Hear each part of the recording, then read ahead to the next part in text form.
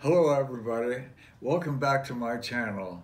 I'm Harry Langdon, celebrity photographer who's been photographing these people for over 50 years. And today I've chosen a subject from my book, Halle Berry. Wow, and what a, what a great person to talk about. She's a really a beautiful woman and actress as well. And the sessions that I've done with Halle have ranged all the way from sessions where she's just casual, the real Halle Berry, all the way up to more glamorous Halle Berry. and you can see how she's been able to transform herself in front of the camera. That's a technique that accomplished actors can do, almost like a chameleon. They can become somebody else that they've chosen, perhaps from the script or from other things. And you people as well can also transform your lives into being a, a celebrity in your own world, because we're all celebrities in whatever we do. So Halle also um, appeared in, uh, we photographed her for Ebony magazine. This is one shot, and there's uh, another shot that Ebony chose from our sessions. So you can see what a nice array of shots we have on Halle. And so she's been able to rise above the complexity of her personal life and be able to uh, portray this beautiful, glamorous woman.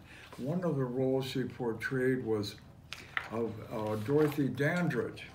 Dorothy Dandridge was uh, an, also another celebrity personality who had a lot of challenges in her life.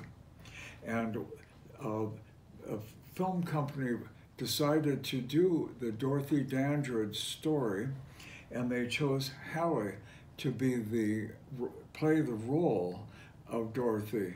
And so when I did the session with uh, Halle, I remember the movie that uh, Dorothy Dandridge did was called The Porgy and Bess. That's one of the films she did. So when I was shooting Halle, the day she was being Halle Berry, you know, the glamorous Hollywood movie star and all that, but I noticed something was missing. And I noticed when, as I remember back myself, Dorothy Dandridge, she had kind of like a, an, an attitude, a little bit of an anger attitude, because she's been mis- was mistreated a lot. So I got close to Halle and I said, Halle, we're missing something here. And that's that, that beautiful anger and frustration which emotes and comes out with this beautiful countenance. And so Halle uh, immediately at that point reverted back to Dorothy Dandridge. And she, I saw tears coming to Halle's eyes. I went, uh oh. Because a good actor can literally become another person and, and take on the, uh, the, that role. And so it was very successful uh, as far as getting that look, that Dorothy Dandridge look on Halle. So what I'd like to do is explain a little bit more about photographing celebrities and somebody like Halle. A photographer like myself and the, the accomplished celebrity photographers, uh, I'm not the only one, have had to develop a sense of compassion and empathy for fellow human beings, especially the actors, you know, they're paying for a photo session. And so it, it comes from just a certain amount of living that we've had to do and realize that we're all in this whole thing together. And so when I do a session with anybody, no matter who they are, they may be um, a chef like Wolfgang Puck, they may be a glamour girl like uh, Raquel Welch, the Tina Turner, who's an accomplished performer, Arnold Schwarzenegger. I have to sort of get into them, mentally get into how they feel and uh, on, on this photo session and in their lives. And it's a reciprocal energy that we develop during the photo session, which may last four hours. In Halle's case, maybe eight hours well spent with this beautiful human being. And so we begin to communicate on a a level that is kind of without speaking, we can sense each other's feelings. And so it's, it's sort of a gift that I've got, you know, it's taken 50 years to, to kind of get it going. And so I'm going to talk more about these kind of things uh, in the future on more episodes. How should other photographers be able to do that when they're working with people? Yeah, when uh, photographers working either with your family or a friend that or a model that needs pictures, you you have to sort of in a way humble yourself and confide in them, so that the subject can feel like they trust you. You have no ulterior motives.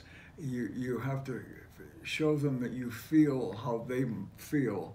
And so it's very important when you're photographing people, it'll make your pictures go beyond just ordinary pictures and become pictures that other people can look at and go, wow, how did you get that expression? So more sub things on that subject, on that line, I'll discuss in future sessions, because not all of my sessions were as easy as uh, Halle Berry and getting uh, glamorous looks. Uh, a lot of them demanded different kinds of lighting with Joan Rivers and with Arnold Schwarzenegger. And I'll discuss different types of lighting that I use. And so it'll be really fascinating for you. And, and plus that, I'll get into what kind of camera I use and, you know, the whole digital scene and Photoshop and all that. And so look, stay tuned and look forward to the next episode.